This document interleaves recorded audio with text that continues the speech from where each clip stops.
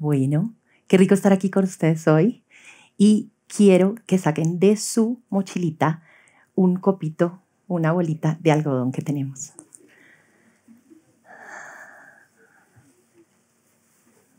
Usa lo que tienes para crear lo que quieres. Hoy vamos a crear e, con este copito de algodón un pequeño ritual. Y vamos a empezar a pensar en todas esas cosas de las cuales queremos agradecer. Y vamos a empezar a llenarlo de esos pensamientos. Ese copito va a ser como un, como si estuviéramos soplándole, como si estuviéramos eh, susurrándole esos pensamientos. Y vamos a hacerlo como alrededor de la cabeza, como para, para que, que se vayan pegando a él. Todo eso que nos hace sentir bien, todo eso que queremos agradecer, lo podemos también hacer por el cuerpo, porque de alguna manera también estamos como limpiándonos, sanándonos, recordando todas esas cosas maravillosas que nos da la vida. Eso que estamos haciendo, esa maravilla de pequeño ritual que es darle valor a un copo de algodón, se llama pagamento. Y eso es lo que hacen los indígenas de la Sierra Nevada de Santa Marta, de esta montaña que es para nosotros un gran, gran centro de energía y mística colombiano. Ellos dicen que en ese copo ellos ofrendan a la tierra lo que ella nos devuelve, lo que ella nos da.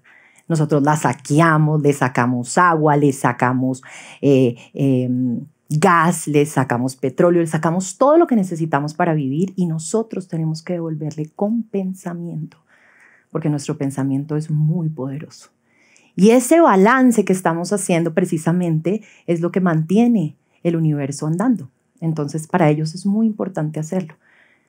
Y para mí, que llegué hace 12 años, eh, esto también es un pagamento, esto que hacen nuestras indígenas de la sierra. Esta mochila que ellas tejen con tanto amor, mientras que suben esa gran montaña hasta esos picos, ellos, ellas van tejiendo porque les ayuda a ir soltando ese peso que es subir esa montaña.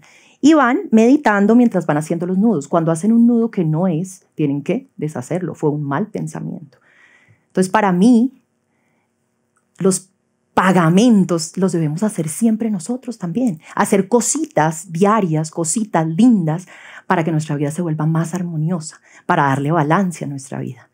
Entonces, hagamos pagamentos. Les voy a contar que yo llegué a la Sierra Nevada y me enamoré de ese lugar. Llegué con un novio que me llevó y me dijo, vamos a hacer acá un pequeño hotel y vamos a conectarnos. Y yo estaba feliz, éramos felices, pero la relación después de seis años se terminó. Y yo me tuve que quedar sola y pensar, ¿ahora qué voy a hacer? ¿Ahora para dónde me voy? Y en ese momento me entró como una cosa, como, como, como una desesperación, como una rabia. Cuando se terminan las relaciones uno queda como mal. Y yo dije, yo no me voy a volver, yo me quedo aquí. Voy a crear un lugar para que me, me pueda quedar aquí. Y el coraje que estaba sintiendo, porque el coraje también no solamente es valentía, el coraje también es furia, fuerza y hay que utilizarlo. Hay que utilizarlo para transformar, porque el coraje es proporcional al nivel de transformación que podemos tener en nuestras vidas. Por eso es que es tan importante esos momentos en los que nos sentimos solos. Los momentos más duros de nuestra vida es cuando más podemos transformarla. Y son los momentos que tenemos que agarrar todo ese dolor, toda esa ira y transformarla en algo que quede. Y queda... Eh, esa es la Sierra Nevada y ese es el mamo con el que yo trabajo en Casa Coraje y precisamente este es un lugar que ahorita también ustedes pueden venir a visitar, un lugar que se creó en un momento de desesperación, pero que ahora es un sitio donde uno puede venir, conectarse con la naturaleza, conectarse con la sierra. Entonces para mí fue un pequeño pagamento que hice para yo autosanarme y eso ustedes también lo pueden hacer. Mis canciones han sido también momentos de autosanación donde he vivido cosas súper fuertes. He escrito canciones para hombres que no me han querido y te lo juro que cuando le escribo la canción siento que ya pasé la página. Y ustedes también lo pueden hacer. Hacer pequeños rituales diarios donde nos estemos ayudando a nosotros mismos, donde seamos nuestros mejores amigos. Hay una historia muy linda que es de una canción, que es una de las canciones más lindas eh, que he compuesto, que salió de un momento de mucha desesperación cuando yo quedé embarazada de mis dos hijas, de mis mellizas, a los 40 años ya eh, un embarazo de alto riesgo porque ya es una mujer mayor. Y resultó que eran dos, venían dos y yo estaba feliz. Pero en mi primera ecografía voy y miro y el doctor me dice que una de las niñas no viene bien, la otra sí, pero hay una que no.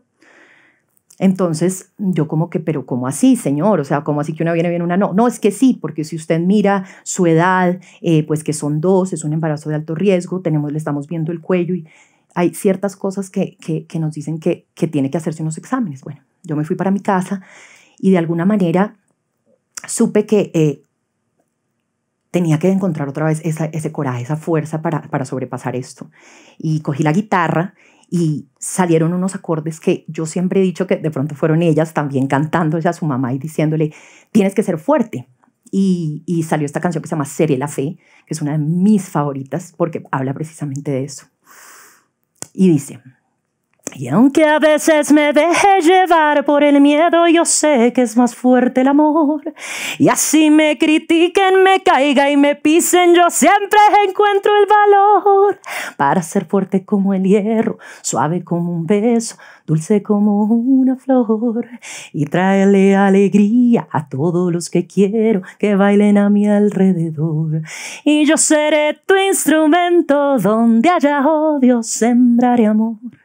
Y yo seré tu instrumento donde haya dudas, seré la fe, seré la fe, seré la fe, seré la fe. Y después de esa canción, les juro que me tranquilicé, me tranquilicé, lloré y fue un momento de mucha conexión. Y eso es lo que hace hacer esos rituales, eso es lo que hace, se sana uno.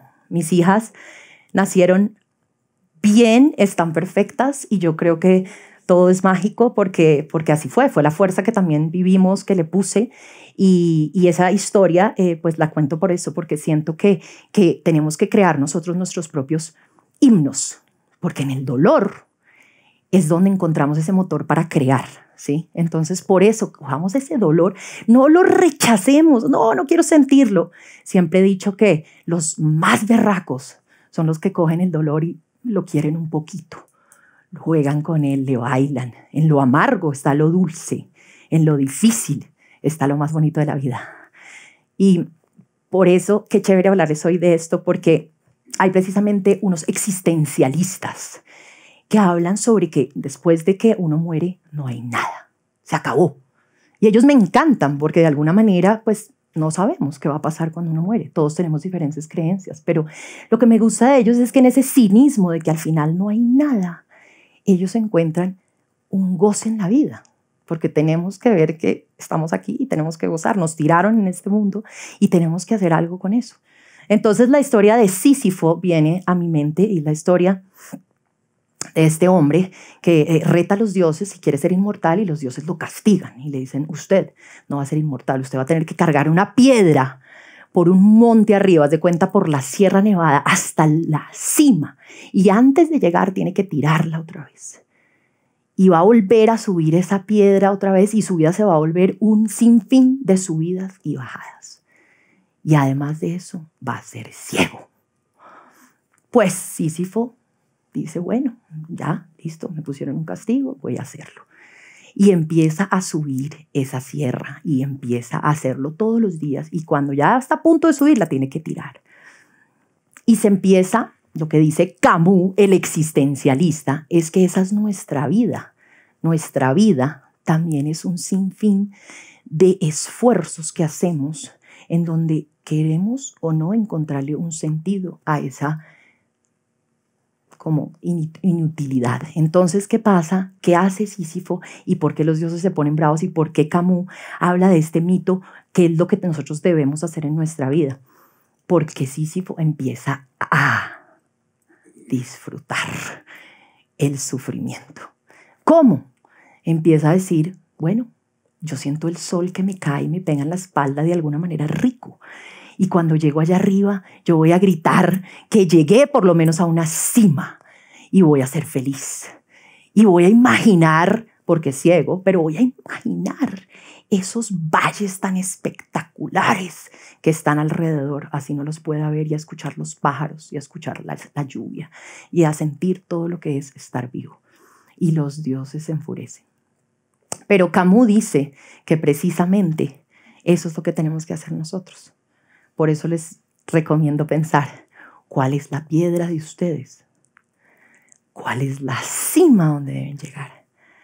Y como Camus, ¿qué están haciendo para disfrutar ese vaivén, ese dolor, ese sufrimiento y esa vida que hay veces no encontramos que tiene un sentido.